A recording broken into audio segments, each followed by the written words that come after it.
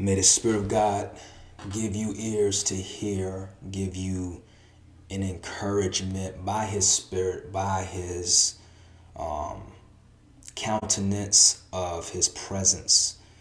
This is Brother Joseph Herbert Jr. I'm going to get on here and just uh, talk about, again, a part two of focus versus distraction. Um, what does it mean to be focused? What does it mean to be distracted? Well, focus is narrow concentration on whatever you are trying to concentrate on uh, or paying close attention to. You know, us as believers, as Christians, those who are truly born again, we are focused. We have narrow concentration on the things that matter, which is the will of God. And that is valuable to the Christian's uh, life. What is distraction? Again, it is it is uh, to disturb or when you're disturbing your thoughts and you uh, troubled greatly in your mind and in your heart. And I'm talking to the believers. I'm talking to the truly born again ones who are born again. When you are troubled in your mind, bewildered or agitated or distressed, you are distracted. Even pleasurable ones that seem to be pleasurable, if you're not focused on the things of God, you are distracted. So, um, just want to minister the word of God and encouragement on how to stay focused. You want to be focused. God wants you focus on Him. And beginning in the day, beginning of the day, to start off in prayer. And I'm gonna take the the beam out of my own eye because at times it is a struggle to get up in the morning and seek Him first. Now, God does give strength, God gives grace to the humble, and in in in the the the promises of God, He gives you strength. You when you make the Lord your God His uh, your strength out of the joy of His Spirit, He gives it to you. And so to love him with all of your heart, with all of your mind, with all of your soul, and with all of your strength, he, he blesses you and you have the focus necessary to focus on him more because he wants to empower you. He wants to give you the mind of Christ and to willfully receive it. There is great, great measures of blessings, great measures of, of signs and wonders that you are able and capable of. He has given the true Christian the authority to tread upon serpents and scorpions and over all the powers of the enemy. Nothing shall by any means hurt the believer in Christ Jesus.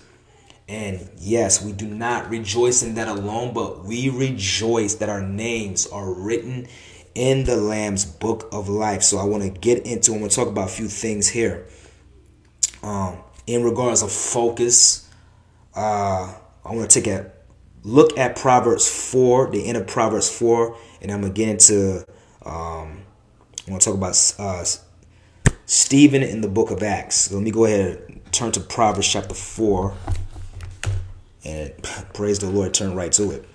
So it says in verse 23, so I did mention in my last video about how to stay focused. I mentioned about the dangers of pride and and the and the necessity of being humble.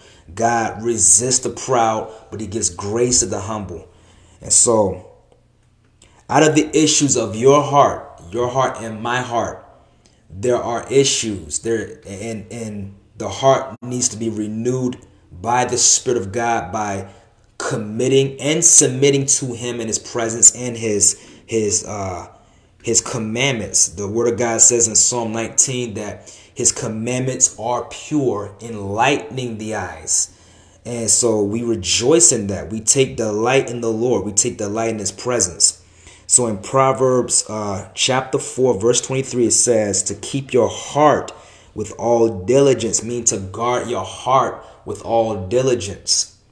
And it says, For out of the out of it are the issues of life. So what are the issues of your heart?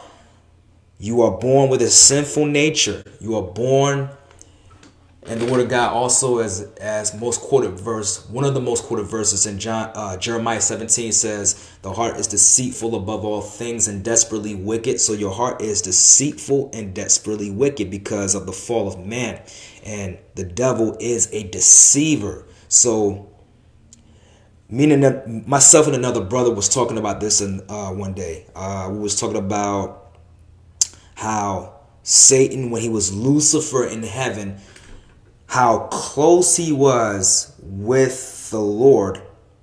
He was the most beautiful angel ever created, the most beautiful angel. And so to be that close in the glory of God, you uh the the devil who is Satan, who was who was known as Lucifer, there was a great measure of glory in wisdom and understanding and tremendous levels of an anointing because the devil is anointed just in a different way. Um, you know, angels are anointed. So the devil within himself, he took it and he wanted to be like the Most High God. He wanted to be like God. He said, I will. And that's where pride began. Pride began with Lucifer I will be like the Most High God. So he was able, as reason why he's known as a deceiver, he was able to deceive angels, angels in heaven. So that's why a third of the angels fell with Lucifer, aka the devil, aka Satan, fell to the earth. Jesus says, I saw Satan fall to the ground or fall to the earth like lightning. And so the devil is judged. The devil is judged, but yet his time is short.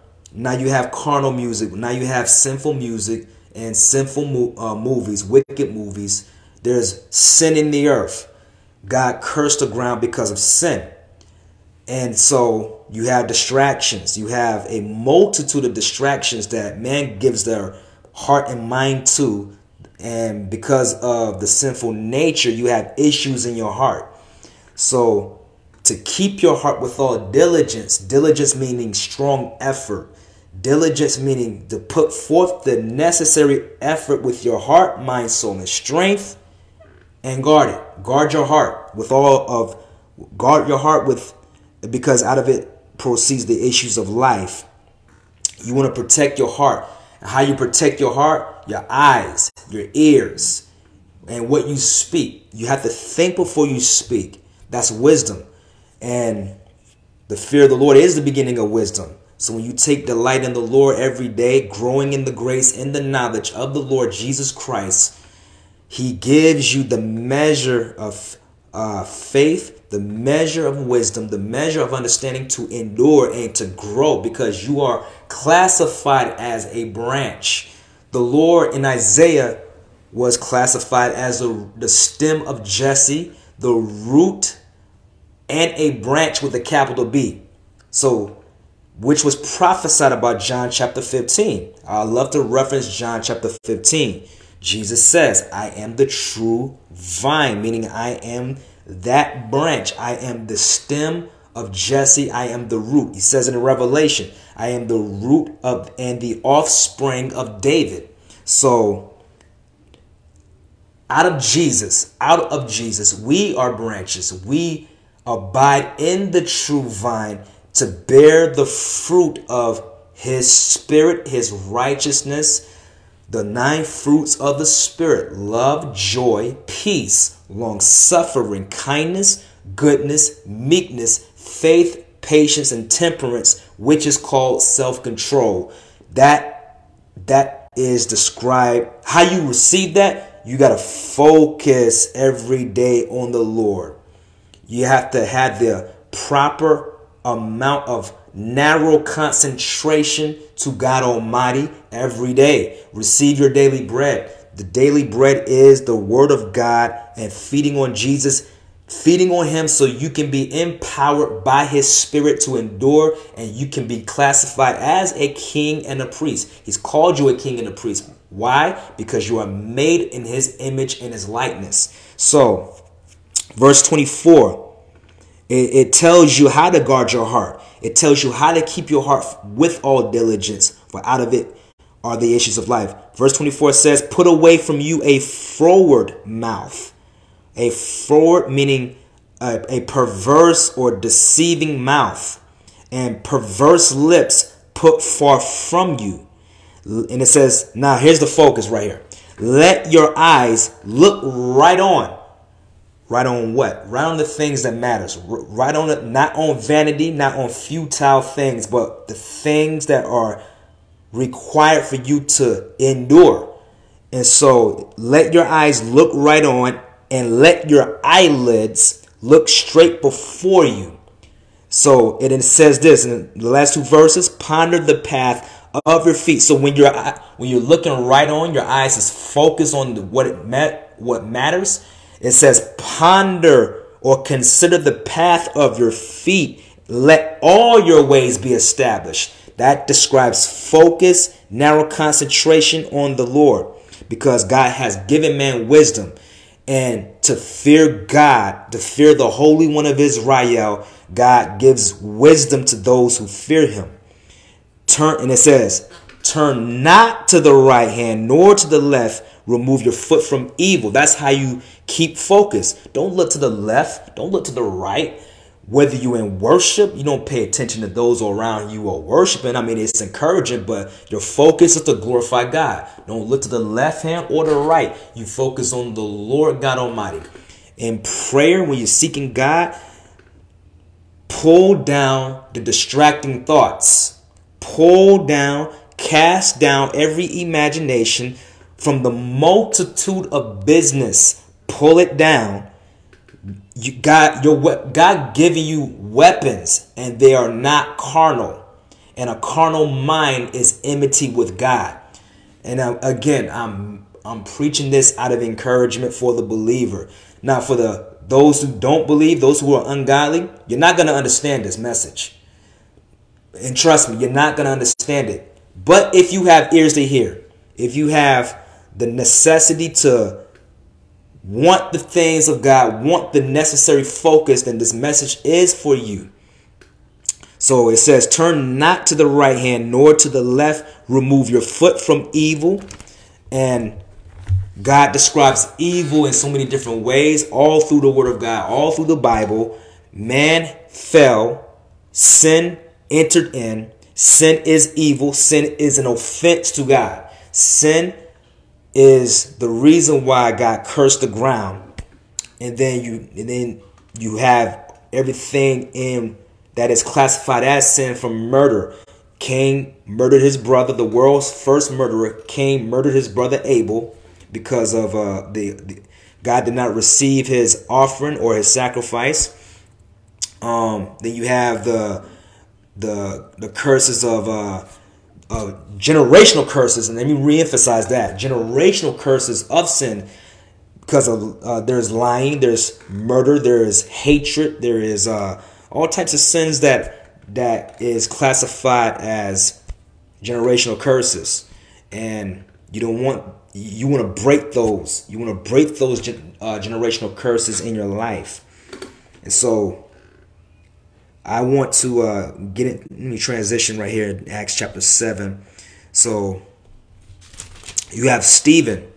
Stephen had rebuked those uh, that arrested him. Um, matter of fact, me back it up in chapter 6. Now, in verse 8 it says, talks about Stephen. Stephen was full of faith and power, did great wonders and miracles among the people. Now, to do great wonders and miracles among people that you have to be full of the Holy Ghost. You have to receive, you have to be focused on the things of God and His will for your life so you can do the work and the will of God. You and to, to do that, you need to obey Jesus Christ, commit to Jesus. He will direct your path. The Word of God says that also in Proverbs. Acknowledge him in all of your ways. He will direct your path. So Stephen was focused. Stephen was focused, and it says in verse 9 of Acts chapter 6 Then there arose certain of the synagogue, which is called the synagogue of the Libertines, and the Cyrenians and the Alexandrians and of them of Cilicia and of Asia, disputing with Stephen. So there was there was um what's the word I'm looking for? Holy Ghost. What is it? Um persecuting him. They thank you, Holy Ghost. Verse 10, and they were not able to resist the wisdom. They was not able to resist the wisdom and the spirit by which he spoke. So that that takes great measures of focusing on the Lord, especially in prayer. God will take you higher. You have a high calling on your life.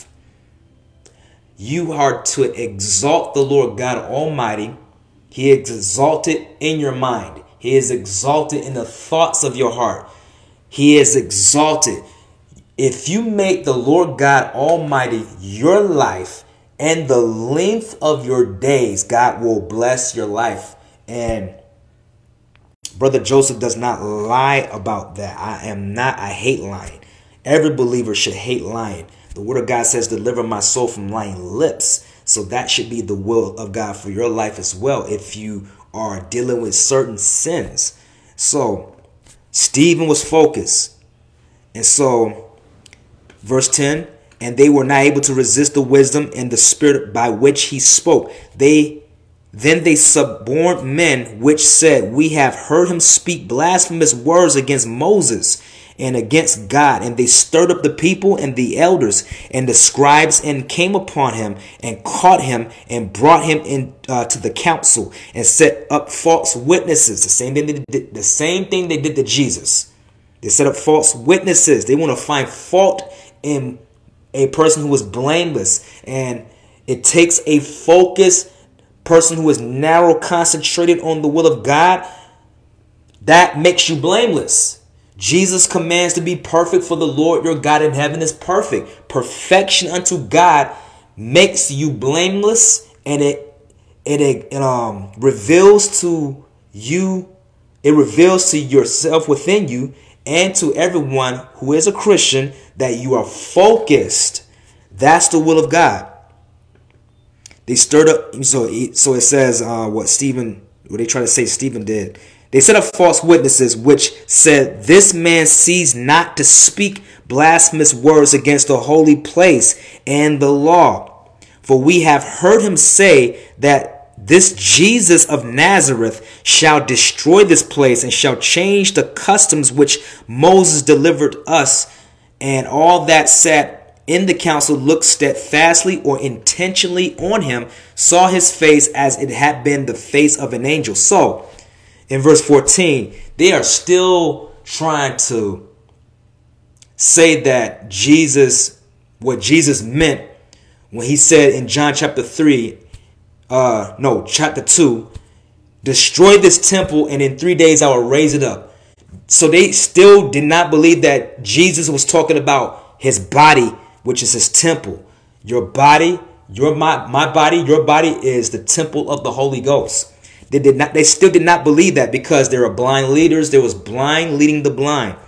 And Jesus says in John chapter 9, he says, For judgment I have come into the world that they that see not might see, and they that see might be made blind. So the blind are in darkness. They're gonna persecute the righteous. They're gonna um, accuse falsely to the believer who preaches the gospel, who preaches the word of God in all the delight of the Lord. You're going to have those who oppress you, but God will equip you with the Holy Ghost with things because again, our weapons are war of warfare are not carnal but mighty to God in the pulling down of strongholds. We pray, we seek God, God equip us. So what does it say here?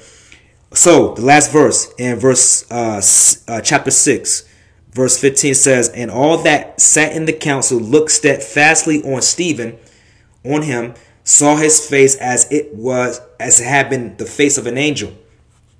So Stephen, in the next chapter, he uh, this is how focused.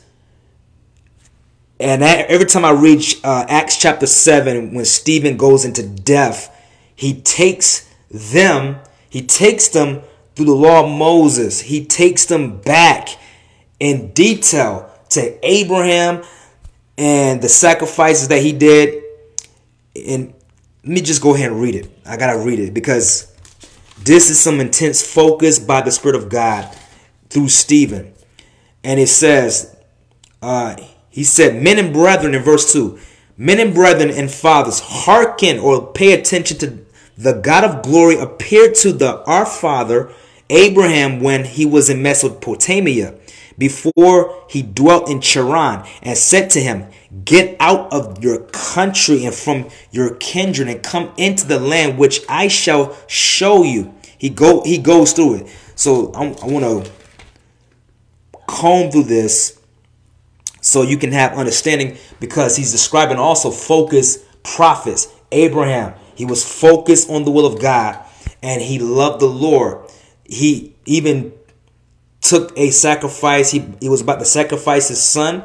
And the Lord saw that Abraham is faithful in obeying. So he stopped Abraham in uh, for sacrificing his son. And then he blessed him. So Stephen went into the detail. He went to the went into the, the, the laws of Moses and what happened to Moses, what happened to Joseph.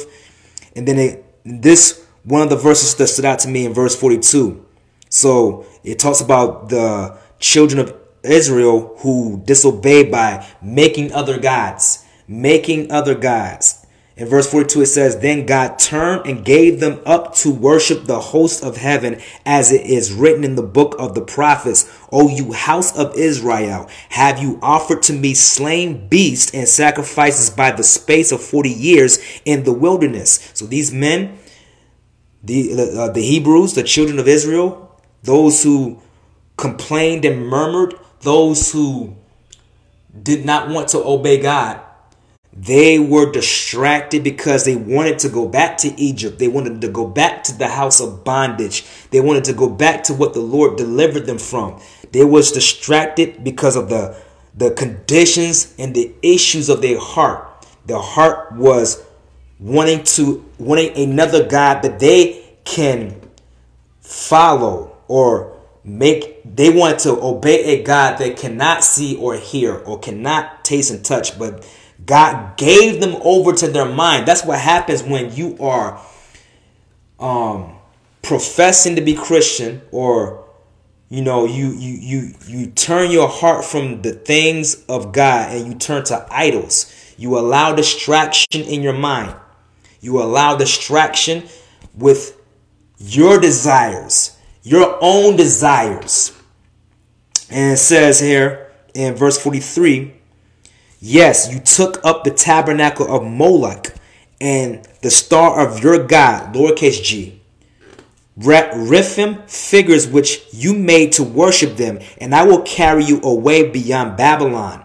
So the Lord, Stephen explained this. He's explained this in the synagogue to those who wanted to put him away. He's explaining this and he's describing those who are distracted. The children of Israel who complained and murmured were distracted with their own heart, with the issues of their own heart. Yes, they even complained. The word of God says they even complained at the parting of the Red Sea.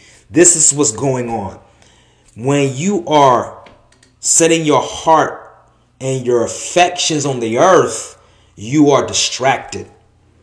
When you are setting your mind and heart on the thing, on the cares of this life, the things that gives you distress and troubles your heart, Jesus says, Peace I leave with you, my peace I give to you, not as the world gives. Let not your heart be troubled, neither let it be afraid. How do you let not your heart be troubled, neither let it be afraid? You focus on God in Christ Jesus. Focus delivers from distraction. It is the will of God for your life to be narrow, concentrated on Jesus, to follow Him in your mind, in your heart, your soul, and your conversation. God is holy. He commands all to be holy, For the Father in heaven is holy. That is the will of God for your life. So, uh, verse 44 Our fathers had the tabernacle of witness. This is Stephen still speaking. In the wilderness, as he had appointed, speaking to Moses, that he should make it according to the fashion that he had seen, which also our fathers that came after brought in with Jesus to the possession of the Gentiles, whom God drove out before the face of our fathers unto the days of David. So he's going into the days of David. So let me go ahead and get to the point of the matter. So Stephen, full of the Holy Ghost, the Word of God says, he's about to get to the issue of their heart because it says they were cut to the heart. So he says in verse 50, let me begin right here in verse 47. Verse 47 says, But Solomon built him a house. Built who a house? The Lord's house, because it was the will of God. In 48, howbeit the Most High dwells not in temples made with hands, as said the prophet. Heaven is my throne, and earth is my footstool. What house will you build me, says the Lord? Or what is the place of my rest? Has not my hand made all these things? So the people who complained and murmured that Stephen was uh, bringing back uh, to their, I guess, their remembrance because they have forgotten the things of God, the things of the law of Moses, and Stephen being full of the Holy Ghost and focus he brings to their uh, remembrance, but then he rebukes them. He calls them in verse 51 You stiff necked and uncircumcised in heart and ears. You do always resist the Holy Ghost as your fathers did, so do you. He's pointing the finger at them in the righteousness of God. He's righteously judging them and condemning them because of their disobedience and their persecution and their distraction because of their sin that they allow in their heart. He called them uncircumcised in heart and ears. Let me see where I'm at. Lost my place. Verse 52. Thank you, Holy Ghost. Which of the prophets have not your fathers persecuted, and they have slain them which showed before of the coming of the just one, of whom you have been now the betrayers and murderers? Who have received the law by the disposition of angels and have not kept it. So he's describing they have not kept the law of Moses. They can't. Jesus Christ, who is perfect in thought, word, and deed, he obeyed the Father with perfection and focus, who, who is made as an example for the believers to focus, to be like Jesus. You want to be like Jesus. That's the will of God.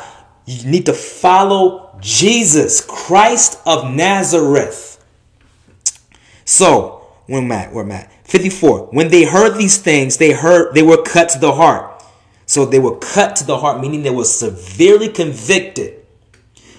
Again, I did I said this in another video. When you are cut to the heart, what do you do with that conviction? Do you receive it as, Lord, what must I do to be saved? I am a sinner. I did bad things. I blasphemed you. I've committed adultery. I've lied. I've stolen. I've dishonored my parents. I did so many things that offended you. That's what being cut to the heart looks like for those who want Jesus, those who want salvation. Salvation is a free gift. And the Word of God says the wages of sin is death, but the free gift through God is through Christ Jesus. Do you receive the cutting to the heart with that kind of conviction? Or is your heart so solidified in pride that when you're cut to the heart, you want to persecute? You want to be like these people who was about to stone Stephen. And again, I, where's that? I'm keep on losing my place. Lord God, help me. Where's that? Where's that? Who received the law by not disposition. 54. When they heard these things, they were cut to the heart, and they gnashed on him with their teeth. But he, Stephen, being full of the Holy Ghost, looked up steadfastly, meaning intentionally focused to heaven, and saw the glory of God and Jesus standing on the right hand of God. He saw Jesus standing So it's like he received a a standing ovation. He got a Stephen got a standing ovation from Jesus Christ the Lord. He saw Jesus standing in heaven because he preached the gospel. He preached the word of God and they were convicted. They was cut to the heart because of their conviction. That takes great measures of focus in Jesus. That takes great tremendous focus narrow concentration, close attention to Jesus Christ, the Holy One of Israel, to minister the Word of God, to reprove, rebuke, and exhort with all long suffering and doctrine, being instant in season and out of season. Verse 56, and he said, Behold, I see the heavens open up and the Son of Man standing on the right hand of God. Then they cried out with a loud voice and stopped their ears and ran on him with one accord. They rushed him because they didn't like what they was hearing. They was convicted and cast him out of the city and stoned him. And the witnesses laid down their clothes at a young man's feet whose name was Saul, who was later be known as the Apostle Paul. And they stoned Stephen, calling upon God and saying, Lord Jesus, receive my spirit. And he kneeled down and cried with a loud voice, Lord, lay not. So Stephen was merciful still. He said, lay not this sin to their charge. And when he had said this, he fell asleep. So he saw the, Stephen saw the glory of God. He lived a focused, purposeful life because he had the Holy Ghost and he loved God with his heart, mind, soul, and strength. What does that look like? What is my encouragement to you? Stay focused on the Lord God Almighty. God will take you higher. He will take take you deeper in his glory. And you got to want that. You have to want that. For the unbeliever, you must be born again to receive that measure of focus. You must be born again. Turn away from the entertainment of this world. Turn away from the drunkenness. Turn away from your abominable sin like homosexuality. Turn away from all these things that you are deceived by from the devil. Because again, like I mentioned in this video, the devil, Satan name means deceiver. People are deceived because of their own thoughts and their own pride of life. You become available and open to deception. And then you begin to sin willfully. And God can seal you. And I and I say this carefully. I say this with strong warning as a watchman. God can seal you in that condition. You don't want to be sealed in that condition. Because when you're sealed in that condition and you're okay in this life and you think you're saved, God can give you over to what is called a reprobate mind, which means he will give you to a mindset that you are incapable of repenting and coming to Christ Jesus for salvation. Do you want that? The division is this.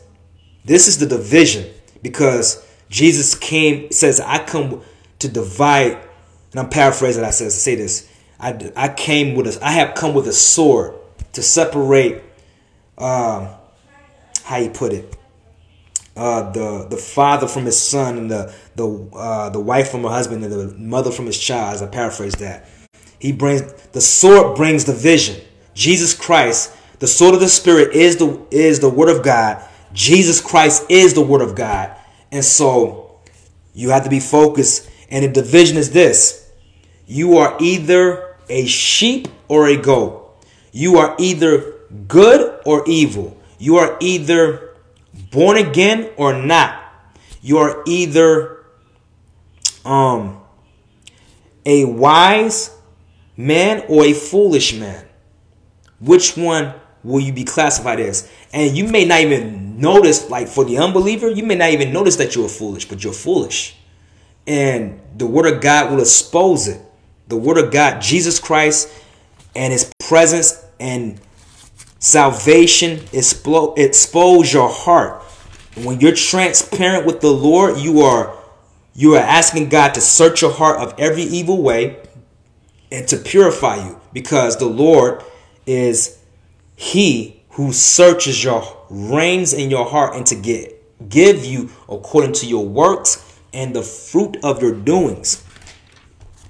He, he, wants to expose the evil in your heart, and you have to receive the conviction. You have to receive the, the cutting to the heart. Because it says in John chapter 3, verse 20, For everyone that does evil hates the light, neither comes to the light, lest his deeds should be reproved or exposed. Do you you need to be a child of light. You need to be a child of the day. So you can be a so you can live a transparent life before God Almighty because he knows you. He knows your thoughts. He knows your heart and your secret motives. Jesus says there is nothing hidden that will not be revealed, and there is nothing revealed that will not remain hidden. You will be judged. Solomon said in Ecclesiastes chapter 12, let us hear the conclusion of the matter. Fear God, keep his commandments, for this is the duty of man. For God will bring every work with every secret thing into judgment, whether it be good or whether it be evil. So when you stand before a holy God, he's going to judge you for everything that you have done, whether it be good or whether it be evil. For the believers, for those who are born again, we're going to be judged uh, only you know for the good, for the good, because we're in Christ Christ Jesus, who is perfect, who was perfect, who is, who was, and who is to come, the Almighty.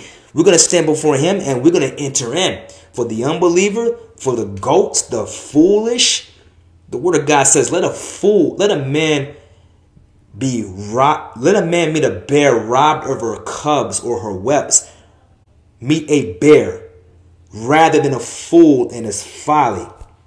So this, those who are wicked are foolish. Those who are in willful sin don't care about nothing. Pride of life, you are classified as a fool. That's what the word of God describes the fool. You love cursing, you love doing wicked things, you love entertainment, you love the thing the cares of this life, you are a fool. You are a fool. Goats, you are a goat. You are a goat and you will be on the left hand of the Father and Jesus Christ who will judge you. You are a fool. That's the word of God. That's what it's describing the fool. You want to be likened to a wise man when you hear the words of God and obey it. Jesus com- Jesus commands all men everywhere to repent of their sin and believe the gospel. Believe on him, the Lord Jesus Christ, who is able to save you from your soul. Jesus Christ wants re- re- redemption from you. You want to be redeemed. You want to be redeemed. The Word of God says in Psalm 19, I love quoting this one. It says, The fear of the Lord is clean, enduring forever, and the judgments of the Lord are true and righteous altogether. And it says this it says, More to be desired are they than gold, yes, than much fine gold, sweeter than honey and the honeycomb. That means when you fear the Lord and you and knowing that his judgments and righteousness are true, and you desire God, you must desire him more than what you want to love, more than your family, more than your loved ones, more than any material, which is also classified as idolatry, more than anything on the face of this planet. You must love the Lord your God with all of your heart, with all of your mind, with all of your strength, and with all of your soul. That takes the focus of the Christian necessary for your life. You don't anything else that you allow in your mind and heart that takes away your time, you are distracted. you are distracted. And don't give into it because there's dangers in that route. You will be led to the broad way that leads to destruction that many are on. And that destruction is the way to death and hell. You don't want that for your life. Jesus Christ is the way, the truth, and the life. No one comes to the Father but through him. And I have some notes right here from service. My pastor mentioned faith is a focus on the Lord. That is that is so profound to me. Faith in God. We walk by faith and not by sight. That's the will of God. We don't focus on material, we don't focus on the entertainment and the media and the politics and all this, the cares of this life, because everything apart from Christ, everything that is in this life is futile, vanity, vexation of spirit, grasping for the wind, except the path that leads to Christ Jesus. Faith is the substance of the evidence not seen. That means you can't see it, but you know you can trust in it. So you can't see God, but you know there is a God in your heart, in everyone's heart, even the atheists, even the agnostics. Everybody know God, God exists. Reason why they're atheists and agnostics is because they hate God. And they want to believe there is another way. They want to believe on the evolution. They want to believe on man was created from apes and amphibians and amphib- amphibians came from the, the planet and evolved evolution. They want to believe in the Big Bang Theory. They want to believe on things that is false.